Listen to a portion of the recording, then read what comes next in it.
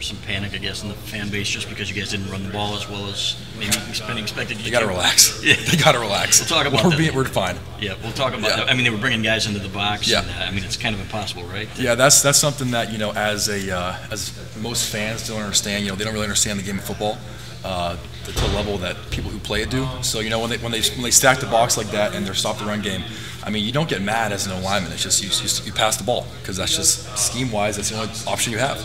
Uh, so that's what we did, and they can relax. Everything, everything's fine.